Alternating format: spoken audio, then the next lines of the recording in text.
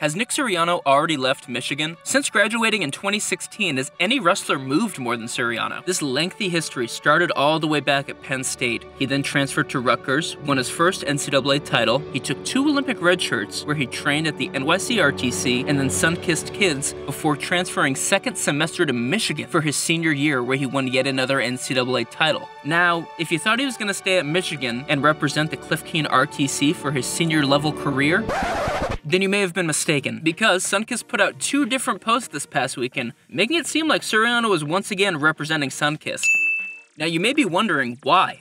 Why has Suriano had a hard time finding a home base throughout his career? No one really knows, but we are speculating that it might be because he wants to find the key to success. I mean, who doesn't, right? But who can help Nick win it all?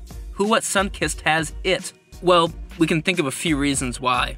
Or should I say who? Mark Perry. Perry seems to have an ability to elevate wrestlers to the top of their game. He did it at Illinois with Jesse Delgado and Isaiah Martinez. He worked with Gilman when he was at Hawkeye Wrestling Club, and he's currently doing it with the top women's wrestlers at Sunkist. Due to Perry's long coaching career, he has a history and potentially some insight to guys who can challenge Suriano, like Thomas Gilman, the current rep for USA, and Spencer Lee, a guy Suriano has battled with throughout his whole entire career. The combination of Perry's coaching ability and potential insight on Suriano's competition leads us to believe that Suriano came back to Sunkist for Mark Perry. This is all speculation. We don't know why Suriano left Cliff Keen, but we do know that based on his track record, it doesn't matter what team he's on or what singlet he's wearing, Suriano has success wherever he goes. For everything you need wrestling, visit flowrestling.org.